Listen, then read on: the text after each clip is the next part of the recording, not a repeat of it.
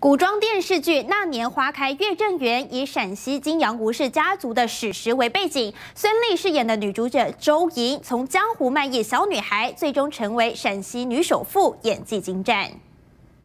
走路去迪化。实力派演员孙俪演过多部脍炙人口的经典好戏，其中《那年花开月正圆》也是招牌之作。剧中，他饰演江湖卖艺小骗子周莹，遇上商家之子何润东，两人意外结为夫妻，也开启周莹的经商之路。要不你把这玉佩买下吧，我只要十两银子。不用，我不需要。五两，三两。不是说成亲就能起死回生吗？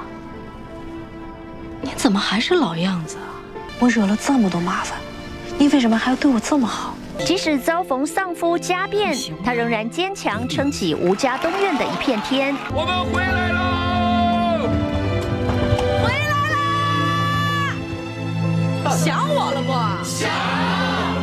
孙俪演技充满灵气，饰演任性又带着霸气的角色，魅力十足。